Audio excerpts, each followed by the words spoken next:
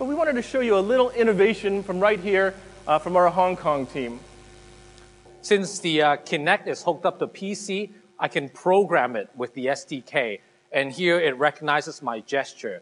If I raise my left hand, you see this minority report sort of control right here, this circle. If I push forward, I get this control. If, if you look at the webcam at the uh, lower right corner of the screen, you can tell the gun is actually pointing down. Ooh. To the left? Okay. A little higher, I guess. Matt, are you ready? No. No? Okay. Good, good. So with my right hand, you see this transparent red button here? I can push and I'll fire. Can we have a countdown? Three, two, one. when I swipe up, since I'm on a touch device, I can use an option called picture password. So I can use a gesture. I'll just circle my head, I'll point this guy's face, and I'll draw a line between the wheels. Voila, I'm locked in. Picture password. This is Windows 8. You can see there are live tiles, so information can bubble up from within the app, so I can instantly see uh, updates from individual application. And in the start screen, I can pin different playlists, media, people, contact, web links, so I can customize my own start screen. I can use my hand to pan left and right. I can use my mouse pointer and slide it to the side of the screen, and I can pan my start screen like that, just like that. So keyboard and mouse and touch. So if I want to call out some system commands, we call charms. You can use your left hand and swipe inwards from the edge. You can see five different system charms. I can pinch and zoom out. Instead of scaling the tiles individually, I'm actually jumping one layer up of this the hierarchy because Metro apps are the heart of Windows 8. I'll show you what I mean by Metro apps. In here, I click on a mail app that comes with the consumer preview, and all you can see is content. There's no menu bar or no borders to distract me from the information that I care the most. So in here, I see my mailbox, but if I want to call out the options that are specifically for this app, I can either swipe down from the top or swipe up from the bottom like that. And I get options within, in this case, the mail app. I can change the folder, I can change my email account. But when I'm done, the menu options go out of the way so I can focus on what I do. Another app that I want to show you is the photo app. Here I can look at my picture library, my SkyDrive, or my Facebook album. Click on Facebook, I get a, a large view of all the album semantic zoom outs of this current menu and get an overview of all my albums. Click on an album, I can look at the photo, or I can semantic zoom to get an, uh, a better view. Some holiday photo tagged on my local account. Enter. Instantly, all the holiday photos are being filtered out within my photo app. But that's not it. If you look at the uh, right-hand side, you can see I can send the same keyword to the mail app so that I send the holiday keyword to search on mail, search on people, or I can send to Internet Explorer so I can call this query on my search engine. If I go back to the Photos app, and if I select a few photos, three of them, I swipe in and I click the Share Charm. Here, I see all the applications that have share contracts enabled for me to share photos. In this case, the email app, I click on Mail, instantly without jumping out of the photo app. All the photos are attached to an email body. I can just type in an address and send that to my friend. I showed you the photo apps that was connecting to social networks, uh, email app connected to other cloud services like Hotmail. If I launch a photo called, called ImageFX, this uh, is a photo editing app in Metro UI.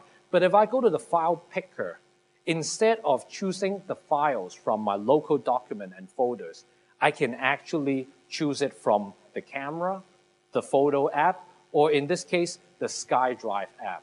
The exact same experience of SkyDrive app is launching within a Metro app application.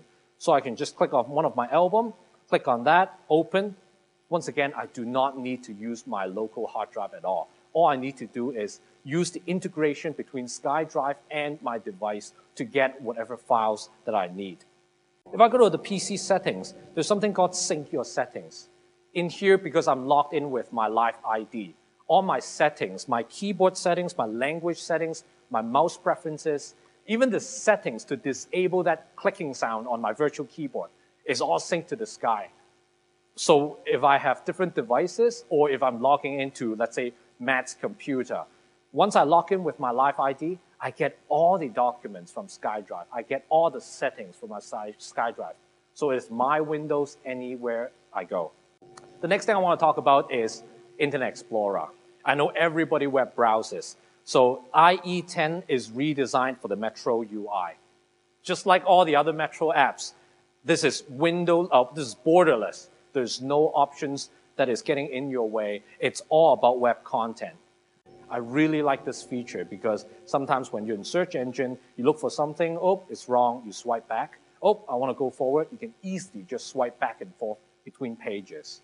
If I want to call out options, I swipe down from the top. I get different tabs.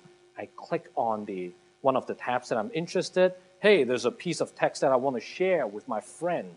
I can highlight that. I can call up the search charm. In this case, I want to share this once again through email instantly. The piece of text is copied to the email body. I can type in the address, share it with my friend, and then go back to where, whatever I was doing right away. So here it is, the Windows Store. It's built right into Windows, so you can quickly just launch it. And here you can see you can browse apps by All-Star, top paid, top free, new releases, so on and so forth. I've been showing you the Metro UI, but yes, there is a desktop mode within Windows 8. And it is optimized in, in this version of desktop, and also it is touch-friendly and keyboard mouse uh, friendly. On the Metro UI, to tell you why this is perfect for play. Remember all the Metro style apps that I was launching? If I want to quickly scroll through all of them, I can use my left hand and swipe in, inwards to rotate through them, one at a time. But if I want to jump to a specific app, I can scroll in and out and I get a list of all the apps that are running right now. So I can pick, I can go that SkyDrive. But what if I want to multitask? I want to do two things at once. For example, if I want to launch the messaging app, okay, and I want to, let's say, um, look at my calendar at the same time. Sorry, calendar at the same time, okay. If I want to do two things at the same time, I can simply drag and drop. This is what we call snap view. I can snap an app on the side and I can keep the other app running in 4 by 3 aspect ratio. If I want to enlarge, let's say my messenger, I can just swipe the border over and the messenger app occupies the, the larger area and I have the calendar automatically scale down to a small snap view. I can move them around, reorder them, or I can enjoy the same swiping and rotating of the app using my swipe gesture on the left platform. Here I go back to the desktop mode and I launch my uh, task manager. And you can see the CPU usage is all in 0%. This is because Windows has been redesigned on something called Windows Runtime or WinRT. The WinRT framework allows Metro apps to suspend once they're in the background. And it gets rehydrated when we call it in the foreground. So all the app states are stored in the memory, so it doesn't take any CPU cycle at all. so his wife's birthday is actually tomorrow, and he completely forgot. There's this great place called the ABC Shop. You should download the application to your Windows phone. Right. Give it a try. Shop. Behind the glass, there's actually a Kinect, Kinect device. And with the Kinect device, it's actually tracking my head. It's attracting my attention. And right there, it says, take a picture of the QR code. So in the phone application, there's actually a button. If I can point my phone to the QR code, and voila, the screen says, spin your phone. phone. So if I spin my phone using the accelerometer of the phone, pretty cool, huh? And here it says interactively. Multiple people can interactively browse this catalog. I can see individual items. I can sort jeans, maybe that jeans, or maybe maybe some skirts. Pretty cool. So if I can place my phone on the surface, instantly I'm connected. Um, Got some recommendations, your wish, wish lists. I have your purchase history, knowing the uh, different items that you have purchased. I also have your customer relationship management record from CRM Online. Right. I can see you're a marketing manager with uh, Microsoft. I, I see this catalog here. I'm flipping through. I want to get something like that for my wife. this see. one. Yeah. Yeah, okay, good. Can you recommend something for me? Yeah, we actually have some things in inventory. Uh, let me take a look at something that similar that she may like. We have the skinny pont dress. Let me go ahead and drag that up to you there. Oh, I can see it on the screen. This blue dress. Nice. Let me click and see information about the dress. I actually like it and I get 80% off. So I would drag that to my I, I want to do that again. That was that was that was cooler than that. Drag it to Ryan.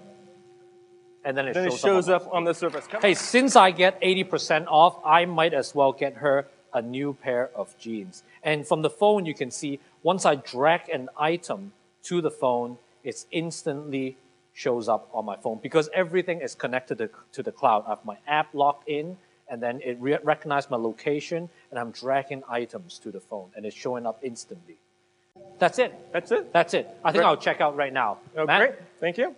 So now I give my phone to Matt, and so right here we have a scenario where we have tied up all the devices from our platform. We have the Surface 2.0, we have the Windows Phone, we have a Kinect for Windows, and we also have the uh, Windows PC, the Windows 8 Slate, and all of it is connected to the cloud, uh, to our Windows Azure, to create, in this case, a seamless experience for retail. But in fact, you can do all kinds of experience with not just retail, but for, for banking or whatever business you guys are focusing on.